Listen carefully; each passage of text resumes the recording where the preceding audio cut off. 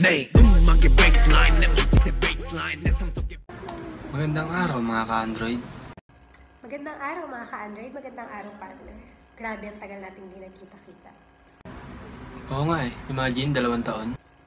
Exactly, pero alam mo ba, pinag-anong technology ang pandemic. We got to communicate and see our loved ones na nasa malayang lugar because of it.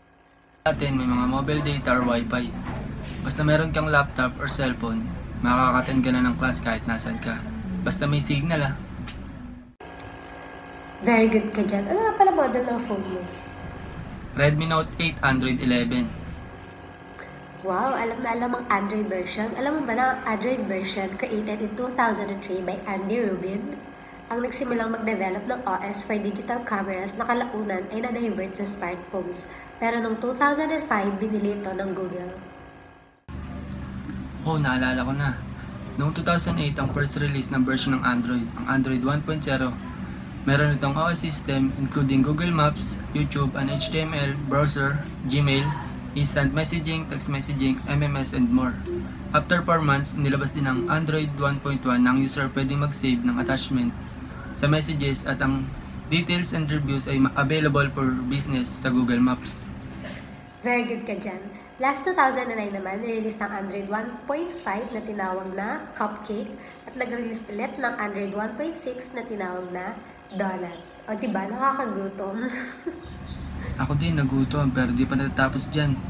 Yung Android 2.1 naman tinawag na Eclair at Android 2.2 Pro yun noong 2010 at Android 2.3 Gingerbread same year. Correct. Ito mas lalong nakakagutom. Noong 2011, version Android 3.0, Honeycomb, at sinundan nito ng Android 4.0, Ice Cream Sandwich, at di lang yan.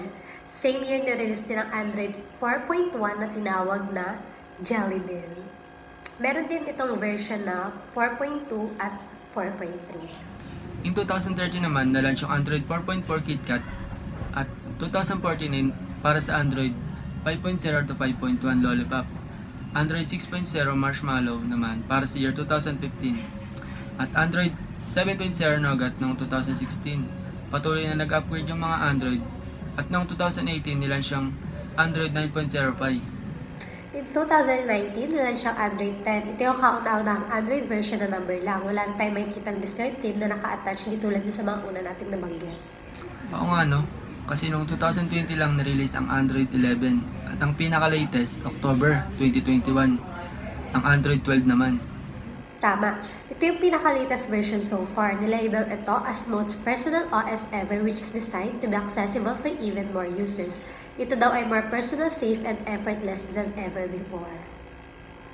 Na-introduce din ng Android 12 ang major refresh sa operating system na material design branded as Material U na nagpipigure ng larger buttons, increased amount of animation, and a new style for home screen widgets.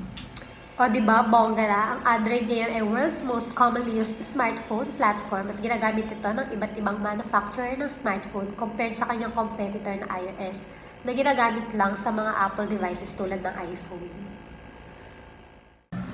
Tama, mag-update na nga ako ng version ko. Late na pala itong akin para di na mag-lag pag nag-online class. Ako nga rin, o mga ka-Android kayo din ha, para maka-video call tayo ng maayos. See you next time mga ka-Android. Watch the baseline. Nate.